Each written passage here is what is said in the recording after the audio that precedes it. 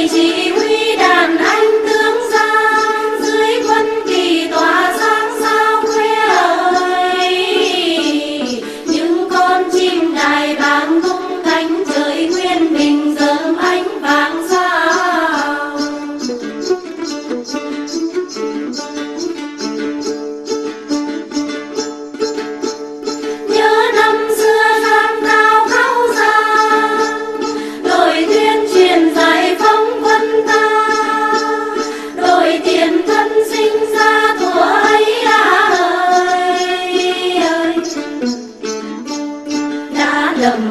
đừng lấy bốn phương thắng trần đầu là ngần phái khất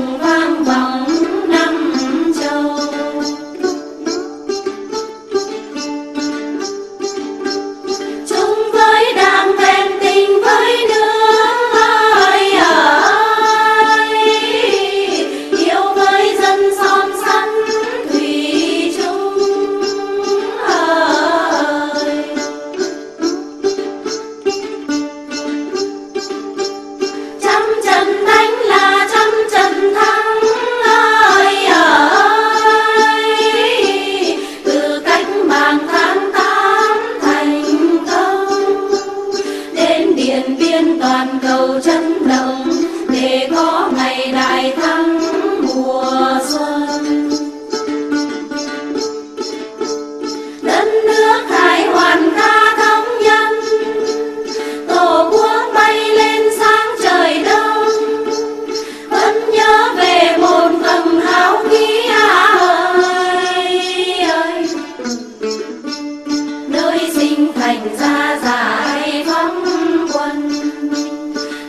tiếng then rộn ràng đắm thắm, trên đón ngàn lấp lánh hào quang.